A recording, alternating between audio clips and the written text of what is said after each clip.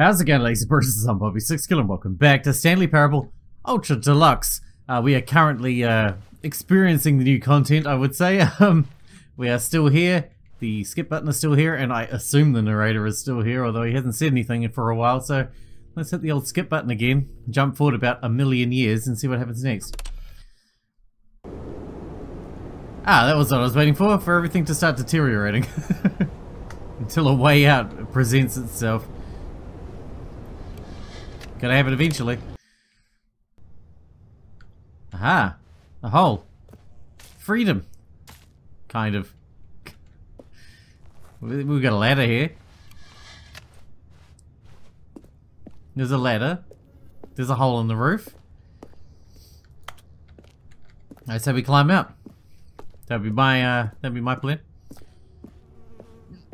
There's a fly here. My god, how long has it been?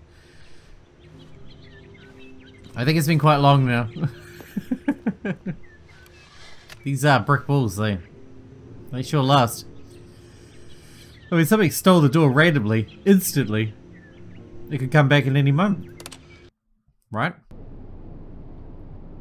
Oh. What happened to the plants? Did the apocalypse happen? I'm guessing so.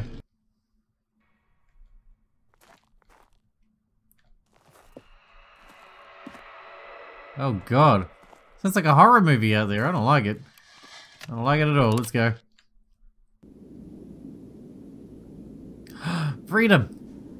The building's collapsing into the ground. Ah, Apocalypse. My favorite. Well, let's go. Let's become Mad Max. I need a car first.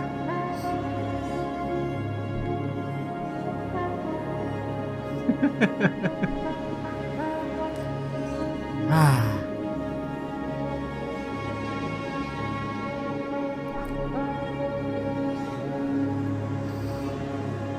We need to find a car, we need to find civilization. Oh man, that's where we came from. Just keep walking, don't turn around.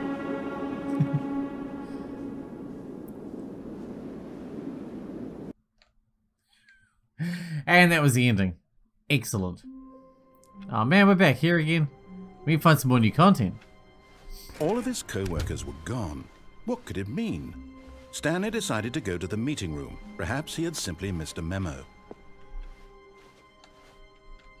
New new content. Haha!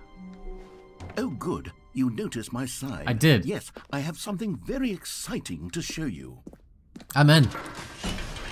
Bring on the new new content.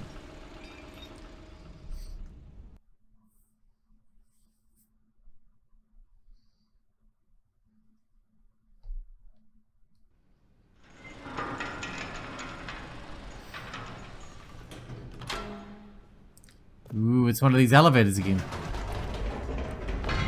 I hope we get another jump circle. I've been reflecting on the Stanley Parable and about how roundly disappointing this ultra deluxe version has turned out to be. The original Stanley Parable was a landmark, and any new content for it should live up to that legacy. So forget this ultra deluxe nonsense. I say we take it one step even further. Which is why I'm very proud to announce for the first time ever the Stanley Parable 2.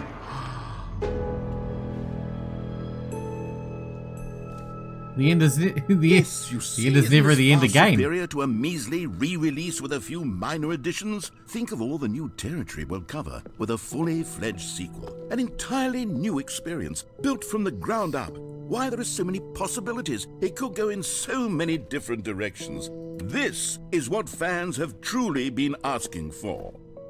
Ah, oh, exciting.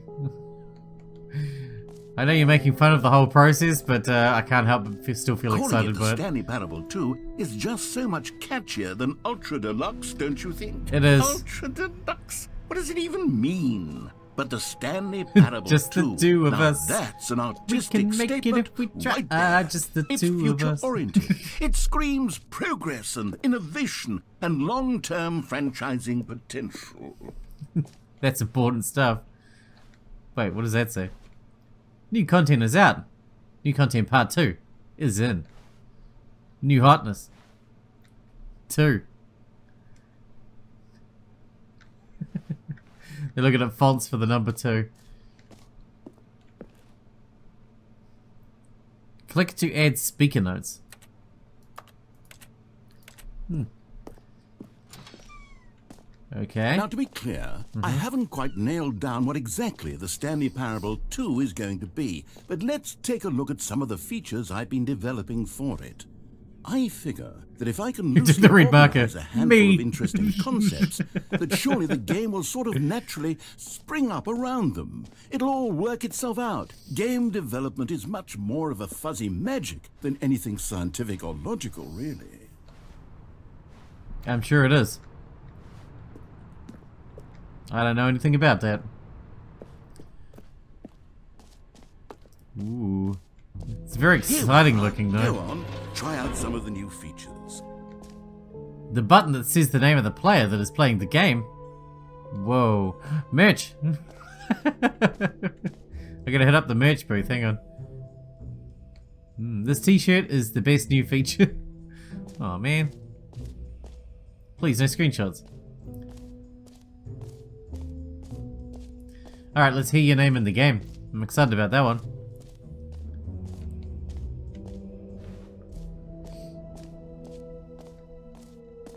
For the Stanley Parable 2, I asked myself, what do players really want?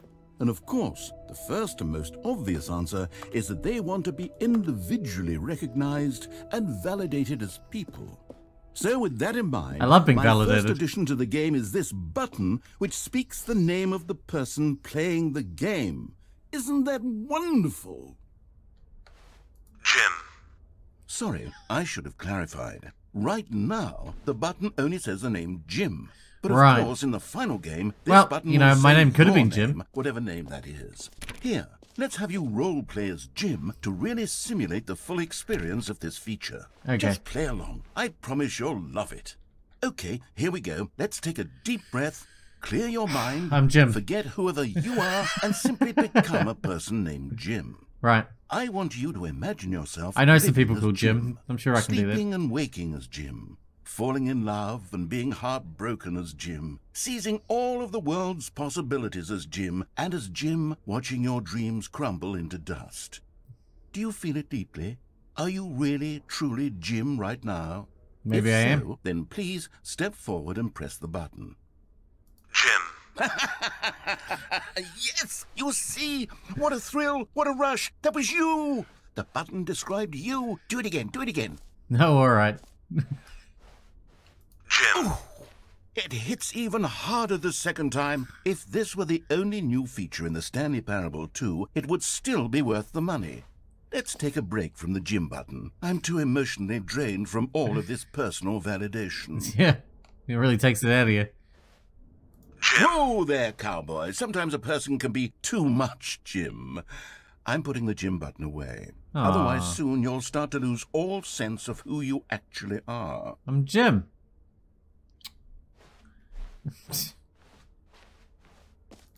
I can't help it now. He made me be Jim. Now I'm Jim. Forever.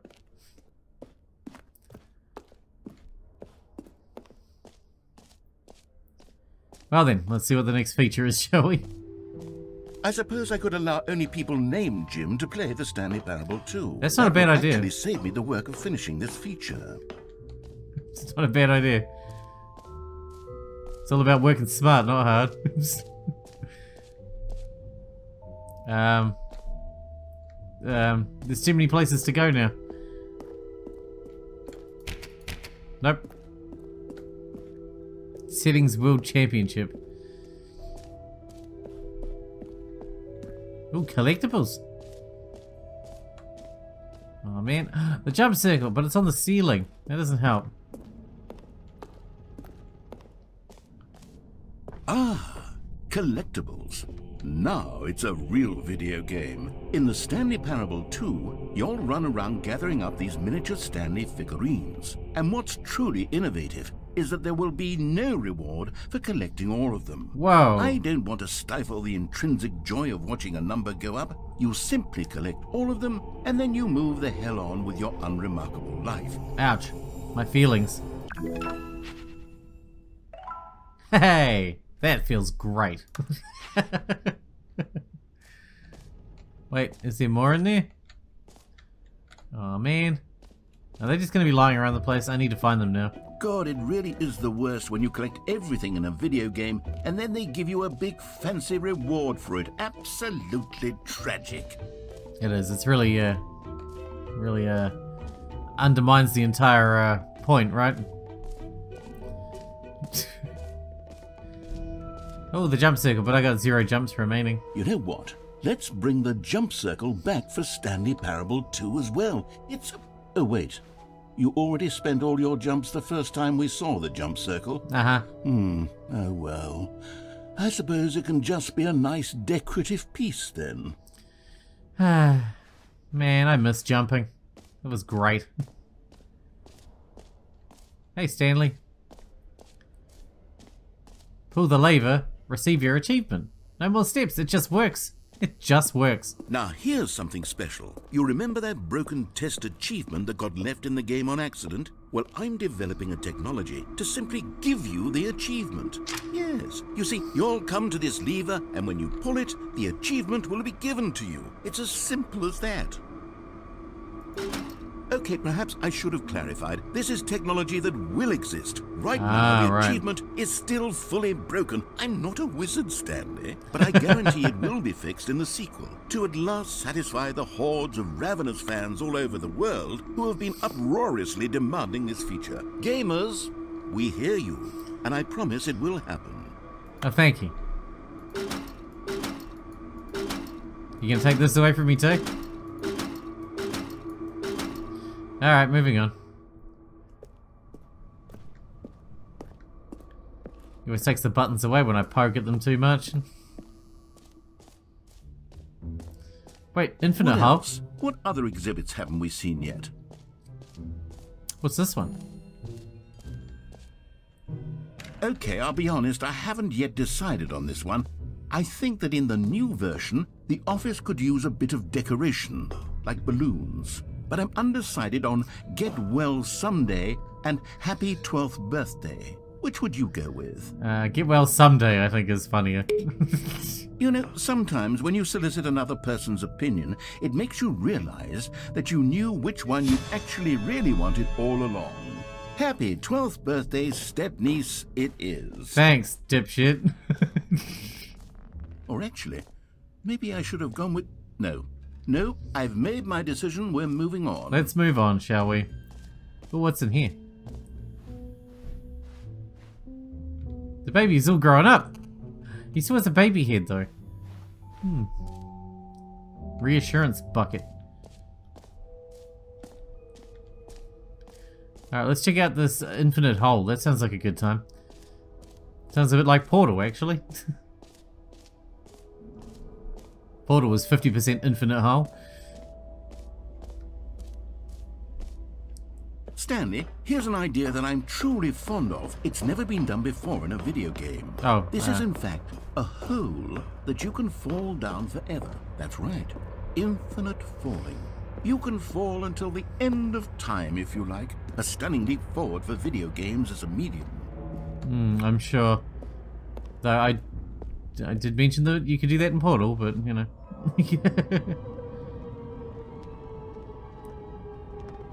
You see, isn't it wonderful? One of my more ingenious concoctions, if I do say so. I think it needs to Now be then, brighter. Since you've gotten to see the infinite hole, you can press the teleport button to pop back up to the top, and we can continue onward. Wait. Hmm. Now, I don't mean to be a bummer, but I do recommend you use the teleport button to go back to the top. Let me guess. Maybe do it on the sooner rather than later. It's not an infinite hole, is it? You didn't finish this feature either. The hole's not infinite yet. Okay, Stanley. I don't know quite how to say this tactfully, but it's possible that I slightly exaggerated the infinite nature of the hole. Yeah, I Is it a very, very deep hole? To be certain it is. It's an extremely deep hole. I don't want anyone to say that it isn't an astonishingly deep hole. It is. Is it infinite? Well, that sort of depends on your definition of infinity. From one perspective, the infinite is merely philosophical in nature. It's more of a... Okay, well, good for you. You found the bottom of the hole. You found me out, Stanley. I'm a liar and a cheat, and you're so clever. I know. I think the issue here is just that you're unusually fascinated by falling. yeah, that's the what problem. normal person actually wants to fall infinitely. I figured the hole was as deep as anyone would actually need. Don't you? I think falling infinitely me. would be Maybe pretty fun if the you could- If you could stop whenever you wanted. Look, uh, things got a little heated there. I think we both said some things we didn't mean. Why didn't don't say we anything. just put all this behind us and agree to just call the hole most? Every pause button is Roman numeral two. If that works for you, then go ahead and press the teleport button to warp up to the top of the hole and we can move on. I'll just be up here when you're ready. Great. Now, I'm very excited to show you even more of my ideas for the sequel. That was great. A mostly infinite hole now. Well, at least we've rectified that problem. We've run out of things to look at. Hmm. In Depth. Infinite. Except not really. Alright, we just need to find more new stuff. There was that bucket place. Is that in here? Yeah. Reassurance bucket. I want to be reassured. A bucket load. A common complaint of the Stanley Parable was that it was confusing and paradoxical, that it engendered a chaotic sense of reckless despair in those who played it. Well, I'm happy to say that I after much consideration, I've engineered a clever solution to this fundamental problem with the game. Mm-hmm. It's the Stanley Parable Reassurance Bucket. You see, Stanley, anytime you're holding the bucket, a sense of calm and ease will fill your Why a mind and your heart. It's true. As long as you hold on to the bucket, the many disorienting contradictions of the Stanley Parable will feel perfectly normal and perhaps even comforting. You may even come to long for the gentle embrace of jarring cognitive dissonance while the bucket is in your arms. And to be honest, it's a much more convenient solution for me than actually redesigning the game to be less uncomfortable. Can you imagine what a pain in the ass that would be? Yes, the bucket is the perfect solution. Come on, give it a try. I thought you'd never ask. Can you feel it? The glow of comfort, even in the face of crushing despair, must already be sweeping through your body. And in fact, can I say that I do believe the bucket lends you an air of charisma as well? Oh, thank you. I think that just holding it has made you the slightest bit more Bucket, attractive just as a pick it up. The benefits of the bucket seem to go on and on, don't they? All this and more await you in the Stanley Parable too. Well, the bucket's great. Can I bring it with me?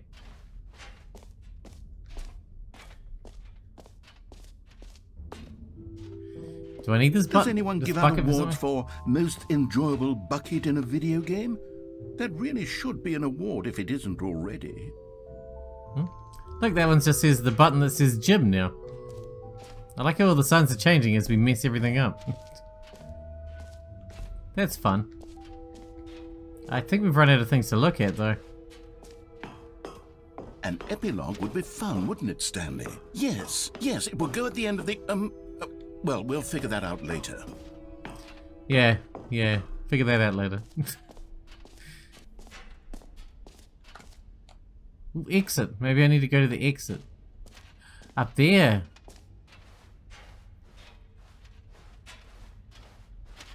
Exit, that's what I needed. Let me out. All right. Have you seen everything you wanted to? Ready to move on now? Uh-huh. I think I've seen everything there is to see now. I got a bucket still, but I really want it. So, Stanley, what do you think? Do you like all of the new features? Yes, I know it's not exactly clear yet how exactly these features will come together as one single coherent video game, but I can feel it in my soul. It's going to work. There's definitely a good game in there somewhere. Say, Somewhere. Let's do an experiment. I'll arrange these new features together and we'll see whether or not it coheres into a meaningful gameplay experience. okay. Are you ready? I'm ready. Here it is. I give you the Stanley Parable 2. Wop. Um, well, um, I mean, there's potential here, right? It's sort of. Okay, never mind. Hold on. Let me do a different arrangement. I don't know if it's gonna help. Yes, yes, this is much better. I feel good about this. Here we go. Version 2. I I ah. prefer that one. Who am I kidding, Stanley? This isn't a coherent video game at all. It's a lot of gags.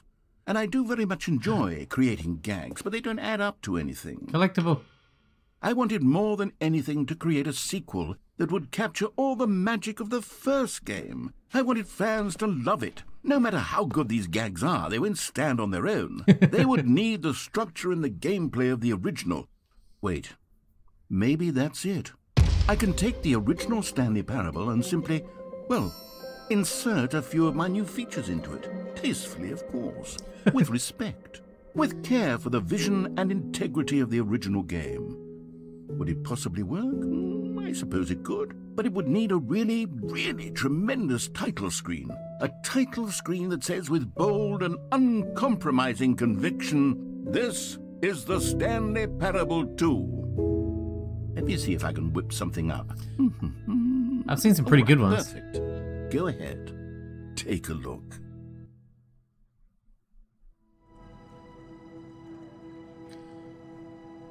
Okay. Begin the game. Wait, is the settings different? I think it's all the same. I should probably have these lower than the narrator voice. Bad me for not doing that earlier. Bad. Alright, begin the game.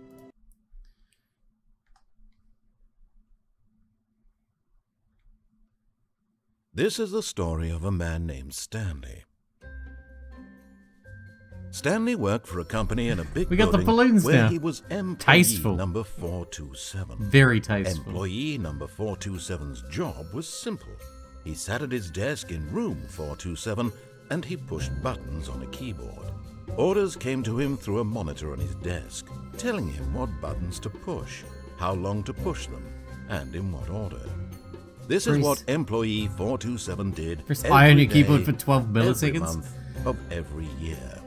And although others might have considered it soul-rending, Stanley relished every moment that the orders came in, as though he had been made exactly for this job. And Stanley Was was happy. And then one day, something very peculiar happened. Something that would forever change Stanley. Something he would never quite forget. He had been at his desk for nearly an hour when he realized that not one single order had arrived on the monitor for him to follow. No one had showed up to give him instructions, call a meeting, or even say hi. Never in all his years at the company had this happened, this complete isolation. Something was very clearly wrong. Shocked, frozen solid, Stanley found himself unable to move for the longest time. But as he came to his wits and regained his senses, he got up from his desk and stepped out of his office. Let's explore Stanley Parable 2. It's All like Stanley Parable 1, coworkers were but with balloons. What could it mean? How exciting. Stanley decided to go to the meeting room. Perhaps he had simply missed a memo. I wonder if it's going to lock off like other Stanley felt things. the bucket calling to him, begging him to pick it up. Why was he not doing it? Where's the bucket? Oh, shit. Stanley picked up the bucket. Alright, we're good. Come on, bucket, let's do this. You and me together forever, bud. Stanley clutched the bucket tightly to his chest and entered the door on his left. This was not the correct way to the meeting room, but Stanley had felt the bucket calling to him, telling him that the employee lounge was simply the place to be. So I can do any ending still? And here it was. Had the bucket turned out to be correct? Was this better than the meeting room? Definitely. Yes, Stanley thought to himself. Yes, perhaps it truly was. How insightful the bucket turned out to be. Thanks, Bucket. No, never mind. The bucket was wrong. Stanley took the door on his left to go back to the meeting room. No, Said the bucket. don't go to the meeting room. Go somewhere else. The cargo lift, yes. Good. Said the bucket. Now ride the lift all the way to the top. There's something up there I need you to do. Stanley did not question why or how this bucket was speaking to him. It should have alarmed him, of course, because buckets can't talk. But Stanley chose not to think about this obvious fact. He was firmly convinced that the bucket had spoken to him. Oh, and all right. He unthinkingly did whatever the bucket asked. I'll do it. I was gonna jump down, but does that mean there's new dialogue In for the bucket Said the everywhere? bucket. Go into this dark room over here.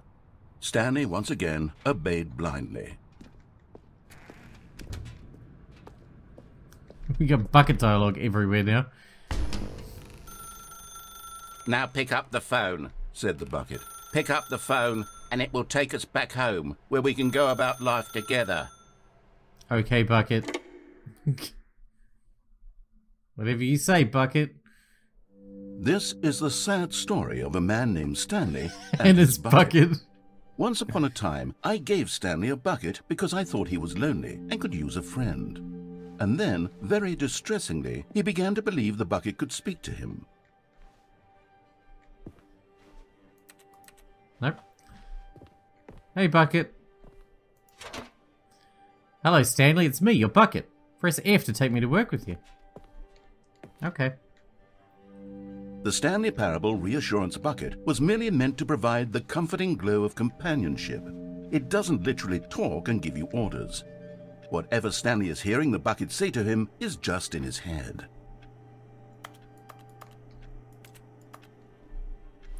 Do you need me to do something, bucket?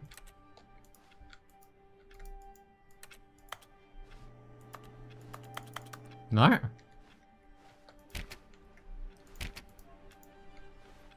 What are we doing now, bucket?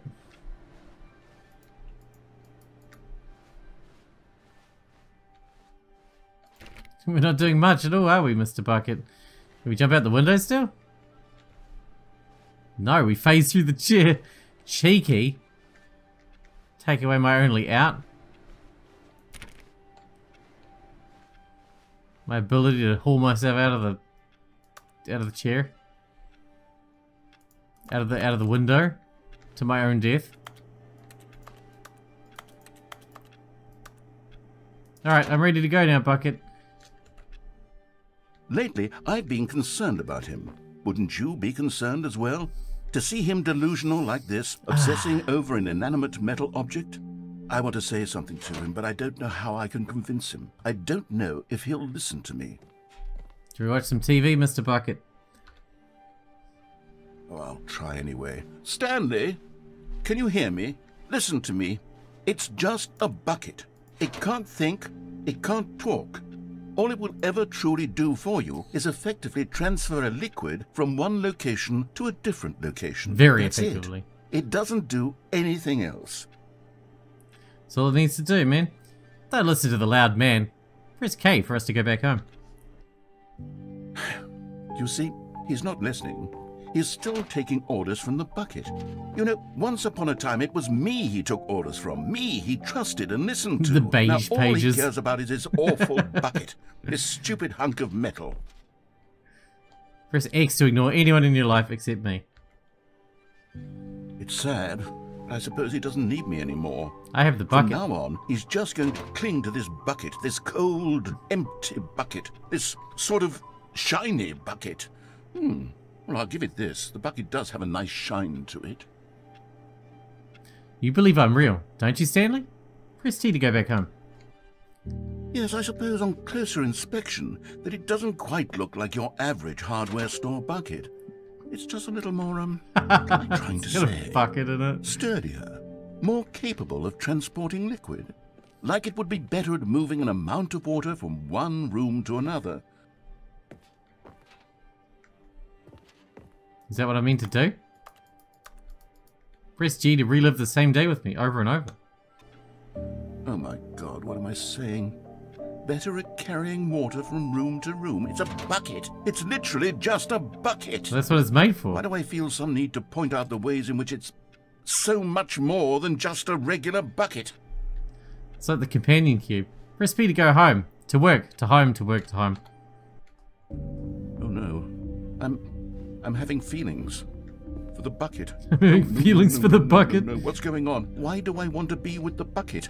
Hear what the bucket has to say. Do anything it asks. What's wrong with me? I don't understand. Oh, I love you, perhaps bucket. If I had the bucket, this would be less confusing. Yes.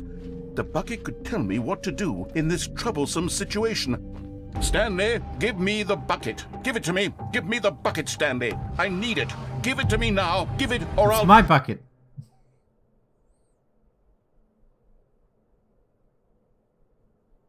Go back to work, Stanley.